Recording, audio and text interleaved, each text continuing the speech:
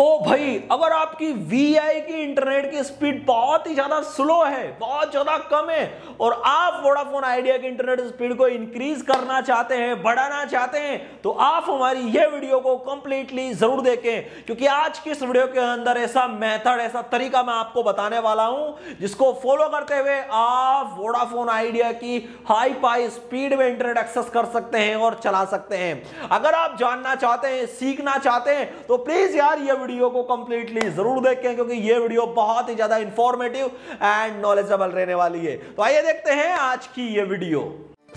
दोस्तों, आपको अगर हमारी वीडियो पसंद आए तो इस वीडियो को लाइक करें, चैनल को सब्सक्राइब करें, घंटे को दबाएँ ऑल प्रेस करें हमारी वीडियो सबसे पहले देखने के लिए। आज की इस वीडियो के अंदर मैं आपको बताने वाला हूँ कि आप अपने स्मार्टफ़ोन के अंदर वी आई यानी वोडाफोन आइडिया की इंटरनेट स्पीड को कैसे इंक्रीज करेंगे। अगर आप वोडाफोन आइडिया की इंटरनेट स्पीड को इंक्रीज करना चाहते हैं, बढ़ाना चाहते हैं, आप सीखना चाहते हैं कि वी आई की इंटरनेट स्पीड को कैसे इंक्रीज किया जाता है तो आप हमारी ये वीडियो को कंप्लीटली ज़रूर देखें दोस्तों, काफ़ी समय से हमारे चैनल पर वीडियोज़ नहीं आ रही है, लेकिन आप रेगुलर वीडियोज़ आपको देखने को मिलेगी। तो चलिए, आज मैं आपको बताने वाला हूँ कि वोडाफोन आइडिया की इंटरनेट स्पीड को कैसे इंक्रीज करेंगे? इसके लिए आपको सबसे पहले अपने स्मार्टफ़ोन पर जाना है और आपके स्मार्टफ़ोन पर जहाँ कहीं भी सेटिंग्स ऑप्शन हो, आपको सेटिंग्स के अंदर क्लिक कर देना है। तो सेटिंग्स के अंदर जैसे ही आप क्लिक करेंगे तो आपके पास कुछ इस टाइप के मीनू यहाँ पर आएगी।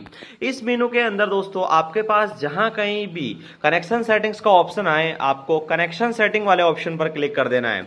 कनेक्शन सेटिंग्स पर जैसे ही हम क्लिक करेंगे तो हमारे पास कुछ इस टाइप की मीनू आएगी। और यहाँ पर आपके सामने मोबाइल नेटवर्क का ऑप्शन, जिस जगह पर भी आए, आपको मोबाइल नेटवर्क वाले ऑप्शन पर क्लिक कर देना है।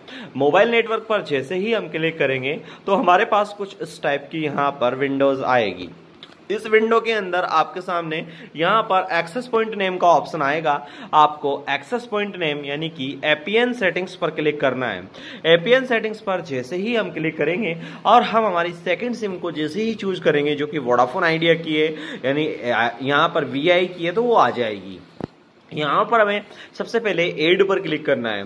एड पर हमें यहाँ पर सबसे पहले नेम पर टाइप करना है। नेम पर हमें लिखना है V I five G turbo इसके बाद में दोस्तों, हमें यहाँ पर लिखने के बाद ओके कर देना है और फिर जाना है हमें एपीएन पर। एपीएन पर हमें लिखना है V I net dot co dot in इसके बाद में ओके कर देना है। इसके बाद दोस्तों प्रॉक्सी पर हमें यहाँ पर कुछ भी लिखने की ज़रूरत नहीं है। और पोर्ट और यूज़र नेम पर आपको जाना है। V I five G super आपको यहाँ पर लिखना है।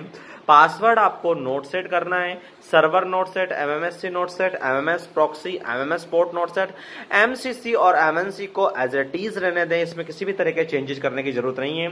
ऑथेंटिकेशन टाइप पर पीएपी एंड सीएचएपी को सेलेक्ट कर लेना है। एपीएन टाइप को डिफ़ॉल्ट रहने देना है।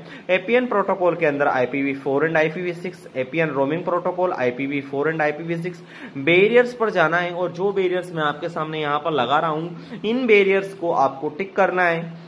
और आपकी एपीएन सेटिंग यहाँ से कंप्लीट हो जाएगी। इसके बाद आपको इस थ्री डॉट्स पर क्लिक करना है और यहाँ से आपको सेव करना है। फिर आपकी जो एपीएन सेटिंग आपने करी है, उस एपीएन सेटिंग्स को सिंपली आपको सेलेक्ट करना है और एक्टिवेट करना है।